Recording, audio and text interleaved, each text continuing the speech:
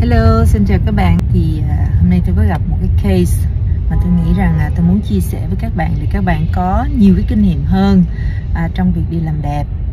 Thì uh, cái ca ngày hôm nay á, là một cái ca người ta muốn làm mất cái cái đường rãnh ở vùng mặt dưới và trước đó người ta đã dùng filler người ta tiêm thì nó bị phình nó bị nó bị giống như cái mắt nó bị bị phù mà nó bị phình khi cười thì người ta muốn cải thiện lại à, và vừa thực hiện à, khoảng 9 ngày cái phương pháp mới thì à, người ta tiêm giải cái filler đó ra và người ta đặt vào đó mỡ từ thân.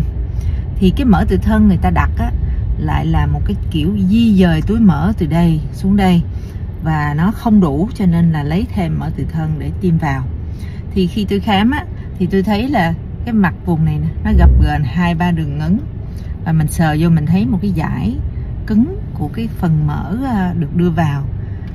Um, và tôi thấy rằng điều này á là một cái điều mà tôi giải thích thì nhưng mà có vẻ như là uh, khách hàng vẫn không có không có hiểu được. Khách hàng nghĩ rằng nó cần phải ổn định thời gian. Thì cái vấn đề của cái trường hợp này nó là ở chỗ khi mình dùng mỡ tự thân mình đặt vào cái khuyết lõm này nó đã tạo ra cái sự phình thì mình thấy rằng à filler nó không tốt, mình giải filler, mình muốn thay phương pháp khác. Thì nhưng mà trường hợp này lại dùng mỡ tự thân để đặt vào, thay cái vị trí filler đó. Cho nên là nó cũng sẽ không tạo ra kết quả gì, chắc chắn cái case này nó sẽ cũng sẽ phình lên như vậy. Bởi vì các bạn tưởng rằng là mỡ tự thân nó sẽ không có phình như filler nhưng mỡ tự thân và filler nó nó chỉ là nguyên liệu để mình tiêm. Quan trọng là chúng ta tiêm vào như thế nào để lấp đầy cái vùng khuyết lõm mắt dưới. Thì cái trường hợp này họ lại thay cái filler mà họ không thích bằng một cái loại mỡ tự thân và vẫn đặt theo dạng khối và tại vị trí vùng khuyết lõm mình sờ vô mình có thể thấy cái khối nó đi di động dưới tay mình. Thì như vậy chắc chắn cái kết quả mà người ta muốn đó, là một cái sự phẳng đều ở vùng mắt dưới là hoàn toàn không thể xảy ra ha, hoàn toàn không thể đạt được.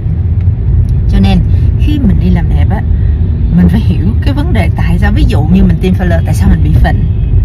Mình bị phình là tại mình sai tiêm sai kỹ thuật chứ không phải tại filler nó gây phình. À, à, cho nên khi làm đẹp vùng mắt dưới á, tôi đã có rất là nhiều video phân tích là chúng ta cần phải làm như thế nào. Thì mỡ và filler các bạn hãy hình dung nó chỉ là nguyên liệu để tiêm. Khi bạn tiêm sai kỹ thuật bạn đặt cái khối trên nó vùng cơ cử động thì luôn luôn các bạn sẽ bị phình ha.